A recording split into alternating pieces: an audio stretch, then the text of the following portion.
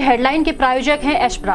Gorakhpur news के सह प्रायोजक हैं doctor Rana hospital private limited and trauma centre. मुख्यमंत्री योगी आदित्यनाथ का कांग्रेस अध्यक्ष राहुल गांधी पर पलटवार। कहा, कौन चोर है, ये सभी लोग जानते हैं। सीएम ने बोला हमला। 2004 से 2014 तक कांग्रेस राज में बैंकों का एनपीए पहुँचा बावन लाख करोड़। मुख्यमंत्री योगी आदित्यनाथ ने कुल सत्तासी करोड़ संतावन लाख रुपए की लागत से जनपद की कुल 36 परियोजनाओं का किया शिलान्यास, लोकार्पण। दिया प्रधानमंत्री आवास योजना शहरी, आसरा योजना एवं राष्ट्रीय खाद्य सुरक्षा योजना के तहत के साथ साथ लाभार्थियों को आवास का प्रतीक प्रमाण पत्र और चाबी।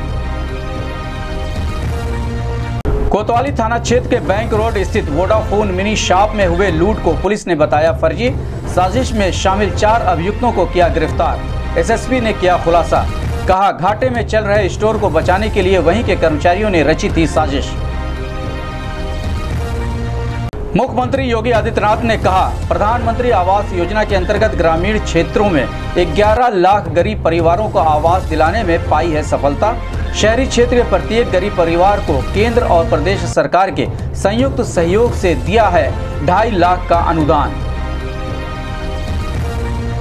शुक्रवार को ताजिया में करंट उतरने और उसके बाद उपद्रवियों द्वारा चौकी भटट पर की गई तोड़फोड़, गाड़ियों को तोड़ने के मामले में पुलिस ने 17 उपद्रवियों को किया गिरफ़्तार।